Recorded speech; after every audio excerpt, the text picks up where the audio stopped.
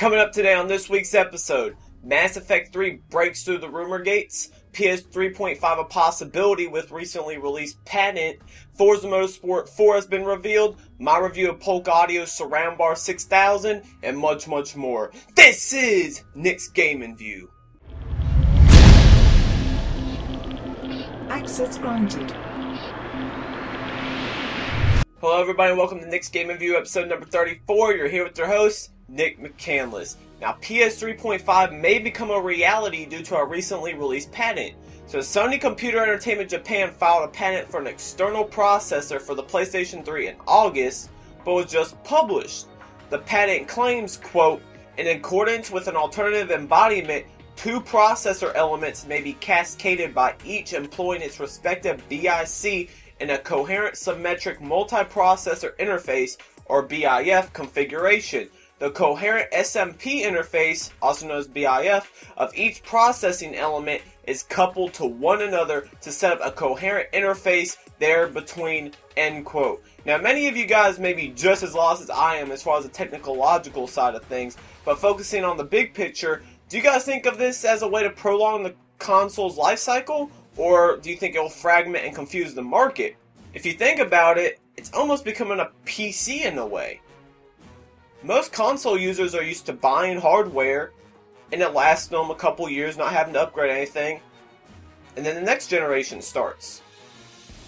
But once again, do you want to buy a PlayStation 4 this early? Do you want to buy an Xbox 720 this early? Probably not. But once again, do you want to restrict the game developers? No. So how could they get away from that? An external processor. It's actually kind of interesting because Rich Hilleman, EA's chief creative officer, admitted that he, quote, expects we'll see a PlayStation 3.5 before we see a PlayStation 4 and an Xbox 560 before we see an Xbox 720, end quote. So what do you guys think? Do you think this would be a great move for this generation of consoles? Or do you think it'll actually fragment the market? Let me know what you guys think in the comments section. Now Mass Effect 3 has broken through the rumor gates. So BioWare's highly proclaimed franchise, Mass Effect, will invade the market once again during the holiday of 2011 and will remain a single player game. Electronic Arts has confirmed Mass Effect 3 will launch simultaneously on the PS3, 360, and PC. Now, while speaking on Mass Effect, EA announced the PS3 version of Mass Effect 2 will utilize the Mass Effect 3 engine, making the experience, quote, much more solid on the PS3, end quote, when it drops on January 18th, 2011. They also went on to confirm that the Mass Effect 2 demo will hit PS3 on December 21st. So I know that's a lot of information to comprehend right there. But it's really good news for all the PS3 owners out there that are wanting to get into the Mass Effect franchise. We're, that basically confirms that we're not going to be getting a crappy port of Mass Effect 2 to the PS3 consoles. We're actually going to get a better version, which it should be coming out a year after it did on the 360. So that gives it, the game its full value. It's using the Mass Effect 3 engine. So it's going to run better, it's going to look better. Great news for all the PS3 owners out there. Mass Effect 3, it was just a CG trailer, not too much revealed, but it's going to launch simultaneously on all consoles. So that's great for the gaming industry as a whole. As a whole, that's great news. So Mass Effect 3, definitely be sure to check that out. Now, Forza Motorsport 4 has been unveiled. So Forza Motorsport 4 being developed by Turn 10 was officially announced and will launch in the fall of 2011. Forza Motorsport 4 will support Kinect along with the standard racing controls on the standard Xbox 360 controller. Remember, these possibilities were shown during Microsoft's 2010 press conference during E3. Microsoft went on to claim, quote, Forza Motorsport 4 will be the most expansive, vividly realistic automotive experience across any console. End quote. So it's obvious who Turn 10 is going after right here. They're going after Polyphony Digital and their title Gran Turismo 5. Main competitors, even though they're exclusive to their own console, they still compete. And Gran Turismo 5 just released recently. A lot of people love the game. A lot of people are left disappointed. I personally love the game, but crash mechanics online definitely not where it should be. Turn 10, I'm sure they're going to execute. Their online is very solid. The crash mechanics are solid. It's not. It's more of an arcade racer than Gran Turismo 5, but it's more realistic in some aspects. But let's see what they do with Forza Motorsport 4. It'll definitely be interesting.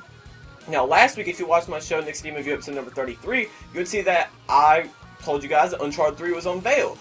During the Spike VGAs, they actually showed the trailer, which revealed the release date.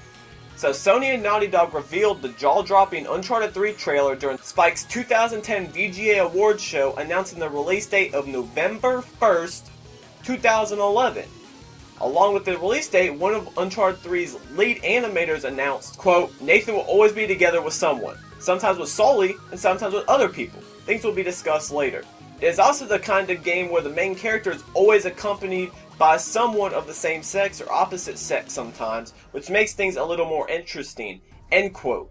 So is this a good thing or a bad thing? Would you guys rather play the whole entire story with an AI character, or would you rather have some segments where you're by yourself like the previous Uncharted titles? Let me know what you guys think.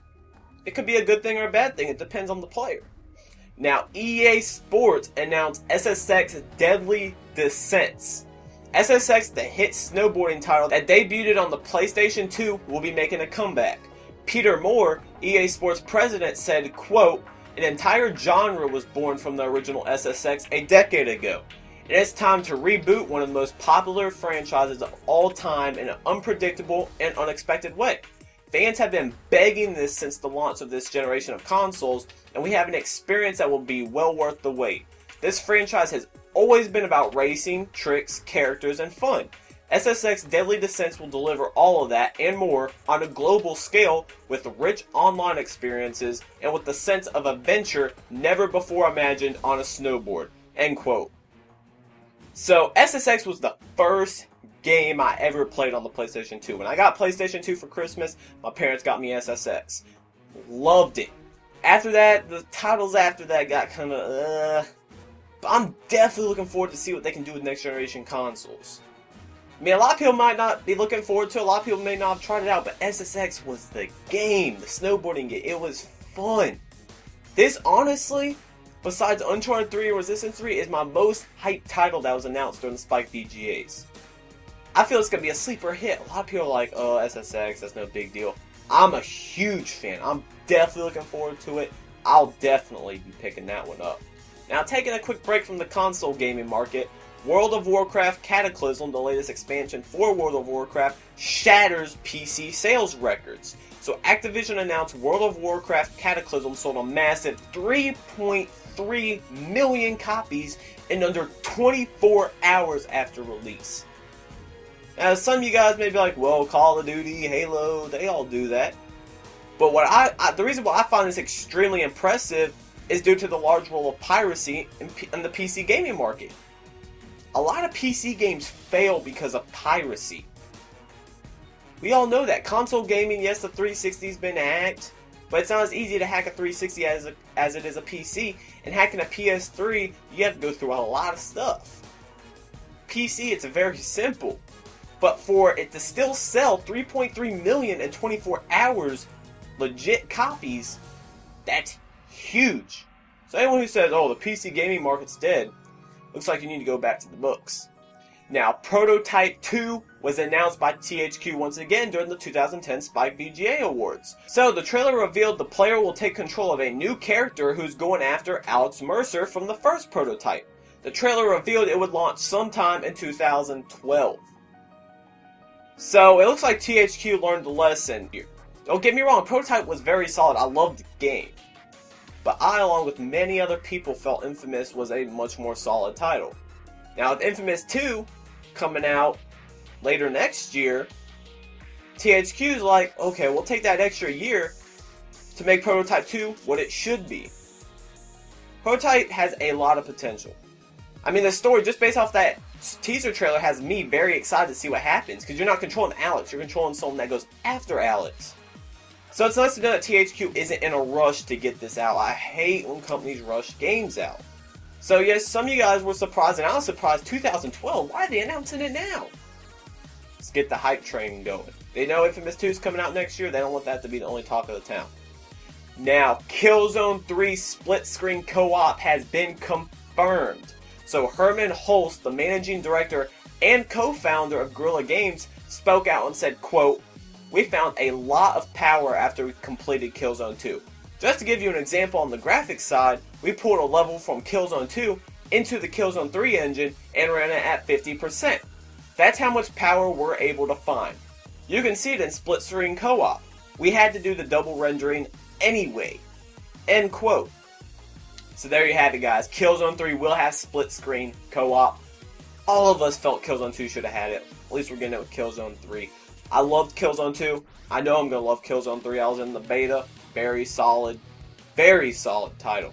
So I'll definitely be picking that up day one without a doubt. Now, Todd Howard, the game director and executive producer for Bethesda Game Studios, revealed The Elder Scrolls V Skyrim. So that's fantastic news for all the RPG fans out there. Oblivion, a lot of people fell in love with that game, became addicted to it. Don't be surprised if this does the exact same. So that's it for the news this week. As you can see, there was a lot of news due to the 2010 Spike VGAs. I felt Spike did a very good job locking up the deals they did. I think it was the best show they've had. So, we gotta applaud them for that. Now, before we head out and head to my review of Polk Audio's Surround Bar 6000, I'll be right back. Gamers all across the globe spend hundreds upon hundreds of dollars to maintain their hobby of gaming, buying the latest and greatest television, the latest gaming consoles, and the latest games will without a doubt leave your pockets bruised. Although gaming is already as expensive as it is, most gamers seem to forget about one other type of technology that will greatly enhance their experience. Sound. Gamers tend to look at sound systems as something that is not needed and only provides a large benefit for hardcore film followers. They tend to focus on the latest and greatest televisions and games, leaving audio behind. Now, do not get me wrong, a nice television is essential to your gaming experience as it provides the video aspect of gaming, but that's only half of it. Using the speakers that come built in with your television is only going to provide you with the worst sound quality possible. With no true subwoofer and the lack of high wattage, the sound coming out of your television is not going to sound anything like it was intended to. Now, I know many of you guys are thinking, what if I want a surround sound experience but do not want to run speakers and wires throughout the listening area. That is why I'm here with you today to introduce you guys to Polk Audio Surround Bar 6000. After 14 months of tedious development, the masterminds behind Polk Audio had developed a way to bring gamers a surround sound experience without the need for sloppy wires and space consuming speakers. Polk Audio Surround Bar 6000 is more than just any average sound system or sound bar out there with a 2 inch thin self powered speaker bar and a wireless 7 inch subwoofer up to 75 feet, you are sure to get an amazing sound experience without rear speakers or speaker wire. As many of you guys know, most 5.1 slash 7.1 surround sound systems require that you purchase a receiver to power your home theater speakers. The receiver's purpose is to process the audio from the selected input and provide power to the speakers in order to produce the sound. With this soundbar, there's no need to go out and buy a receiver because it's conveniently self-powered. A simple optical or 1 8 analog connection quickly connects the surround bar to essentially any AV receiver, while the included 7-inch subwoofer powers clean, authentic bass wirelessly from anywhere in the room up to 75 feet away. After you have completed these steps, just press the power button and you're ready to rock. Polk Audio's Surround Bar 6000 features two 80 watt speakers that utilize Polk's patented SDA stereo dimensional array technology. This technology allows the surround bar to simulate a 7.1 audio experience without the need of an AV receiver and messy speaker wire. The wireless 7-inch subwoofer included with this product pumps out a commendable 120 watts, which features a stronger motor structure than previous soundbars from Polk Audio. This allows the subwoofer to become more efficient and require less power to push out pounding bass. When I first heard the sound this product could output, I could not believe what I was hearing from something that takes a couple minutes to hook up and virtually no space. Now, although this soundbar is great for gaming, it is also amazing for watching movies. Being a huge fan of Blu-ray, watching movies has become my second hobby over the past couple years. I'm still amazed by the video quality I'm receiving from my new television and the latest movie releases, but I never realized what I was missing until I hooked this baby up. While watching the epic science fiction film Avatar, I found it easy to become engaged in the amazing experience directed by the prestigious James Cameron. As with anything else, the product does have one drawback. While it is nice that Polk Audio Surround Bar 6000 features a rear panel with three inputs, one optical and two 1 8 analog inputs, the decision to only integrate one optical connection is one that lacks deliberation. Now, while many users may just run a digital optical cable from their television's digital audio output into the surround bar utilizing the one input, many televisions on the market today do not output a Dolby Digital signal and deliver a subpar PCM signal. With Blu-ray players, set-top boxes, game consoles, and more taking over on the home theater front, I feel Polk Audio missed out on a huge opportunity to shine with their latest soundbar product. Now, while this issue may not have an impact on every user, for those in my scenario, it prevents the consumer from utilizing this hardware to its fullest on all components. Overall, Polk Audio's Surroundbar 6000 is a force to be reckoned with. With exceptional sound quality without the need of rear speakers and speaker wire, Polk Audio's Surroundbar 6000 is a must-buy for any gamer slash movie watcher who wants great sound without running speaker wire and placing multiple speakers throughout your room. Alright guys, and I'm back. I want to thank you all for watching the show, Nick's Game Review episode number 34. If you're a new watcher, feel free to email me, or even if you're a continuing watcher, you can reach me at admin at thegameraccess.com. You can follow me on Twitter at twitter.com forward slash thegameraccess. Be sure to check out the site, thegameraccess.com. So I want to thank you all for your support. I want to go ahead and give you guys a heads up though. There's going to be a two week hiatus for the show due to the holidays being Christmas and New Year's. It's gonna. There's a lot of stuff going on, so there won't be a Nick's Gaming View next week or the week after that due to the holidays. But January 8th is when Nick's Gaming View episode number 35 will return. Should have something for you guys there, but just want to go ahead and give you guys a heads up. So if there's not a show the next week or two, don't be surprised. Just because of the holidays, things get really crazy. I have family coming over, so I'm going to take a two week break from the show. But after that, I'm going to be coming back strong. So once again, thanks for the support. I'm out.